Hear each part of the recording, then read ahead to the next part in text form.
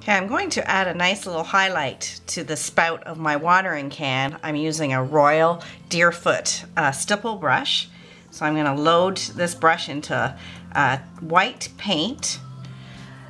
And then if I just use um, a flat brush to slightly dampen my surface with water, then I can stipple on my nice white highlight and then use a mop brush, which is always used dry, to lightly pat and soften my highlight.